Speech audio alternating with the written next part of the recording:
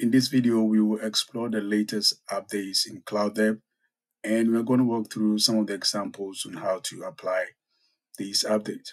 So I've already covered how to install and run Claude Dev with other LLMs, right? So I must say the new updates make it even more powerful for building complex applications.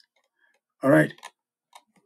So here are some of the changes. So when you go to your changelog .md markdown, so you're going to see this update, right? So Claude Dev can now use a browser. So this update adds a new inspect site tool and captures your screenshot and your console logs from website. So it makes it easier to troubleshoot. It makes Claude Dev easier to, to troubleshoot issues on its own.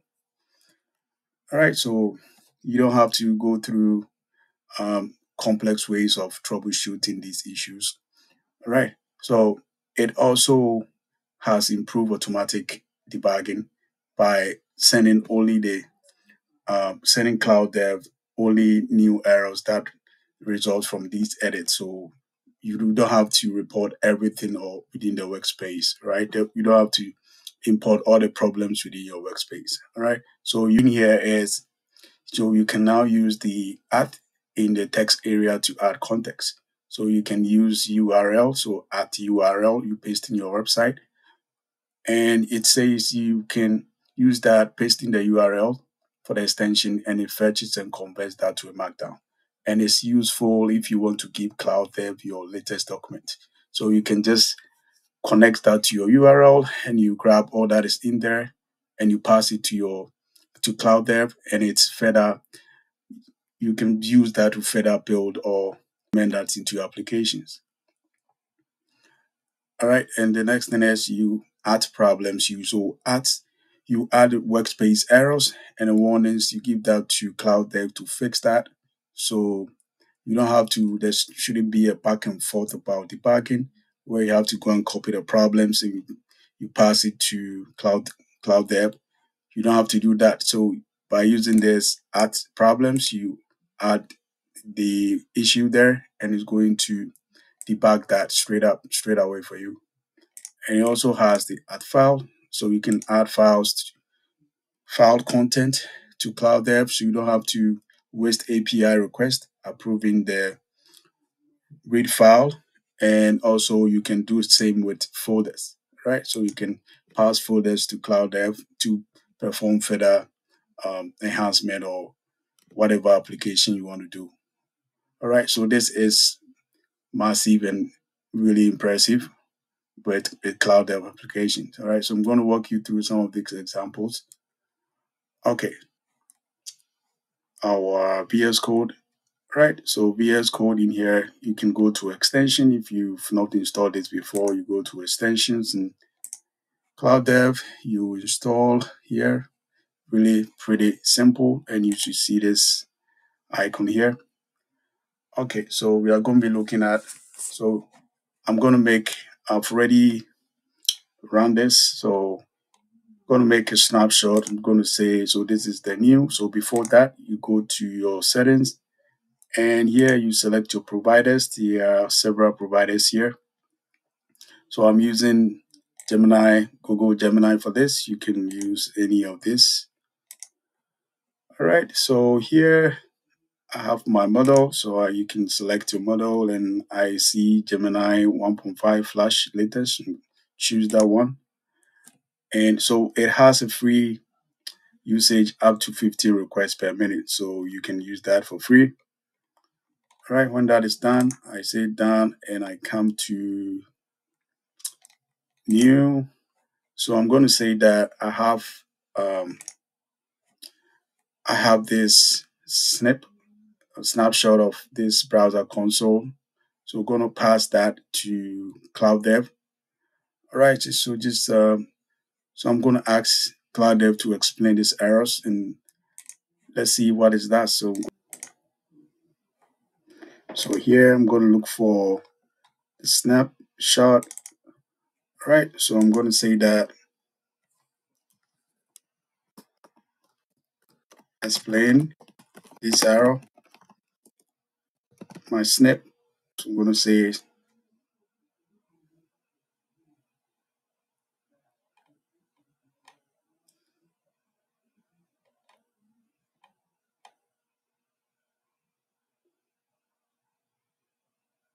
right and here you go it is analyzing the error of this snapshot of the issue. Okay it says i've analyzed the user's request and provided environment details. So the error message can't find profile direct suggests that application is unable to locate. All right so it's able to capture these errors and it is addressing that um, which is awesome. All right so it is able to perform these by just capturing the snip, the screenshot, and it is able to analyze the errors. All right, so I'm going to walk you through the next one. So now we have the option to use the URL. So I'm going to go to new task.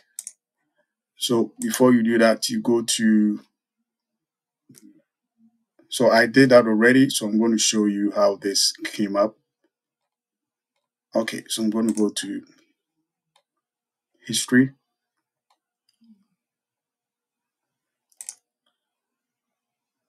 Okay, so here you go. So I said I use at and you put in your URL. All right, so this is my URL. Okay, so this is the name of my blog website. So when you do this, I'm saying that what is this about? And it's saying giving me highlighting the what the blog website is about. So it's Data Edge Hub. It's a blog that focuses on this, which is awesome. Okay, so you can use this context to further build your applications or ask further questions or get a lot of details, right? About the website or the link that you put there. All right, so it goes through through the API and it gives this answers. All right, so this is great. Okay, so now I'm going to show you how you can solve a problem with this. Okay, so if you have a problem with the application, so I'm going to show you how this is done.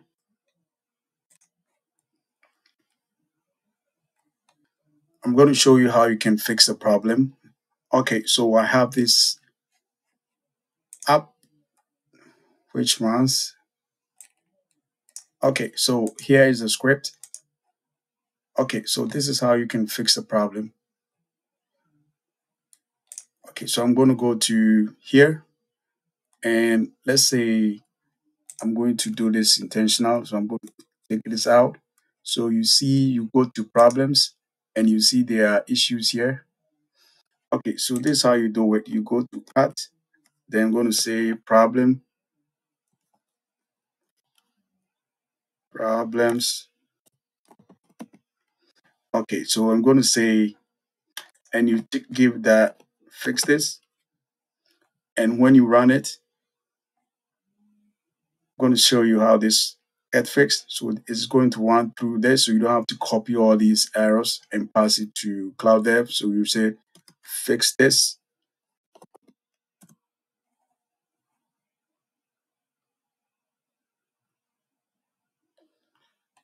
All right, so you can see in here, it has written the code exactly and correcting that. Okay, so when I put my T here, you will see that the errors are no more found here. Okay, so this is how you can, so it right rewrites the code with the correct answers or the with the correct fixing to that. Okay, so now you can run files and I'm going to show you how you can do that. So I'm going to go to new. Okay, so this is pretty simple. So you can add files and folders to this. But in this case, I'm going to going to add a file. So you say add and you put a link to the file. the, look, the directory to the file. So you can run it here and that's it. So you can ask any question or anything that you want to do. Okay, so in this case, I'm just going to run it and let's see. It says I need to analyze the provided file. And I'm going to say approve.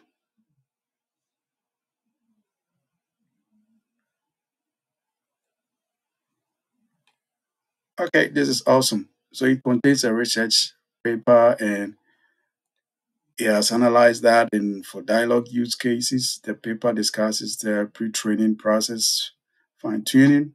All right, guys, I see this to be really awesome and amazing tool. And with the um, update, it makes it way easy to build complex applications using this.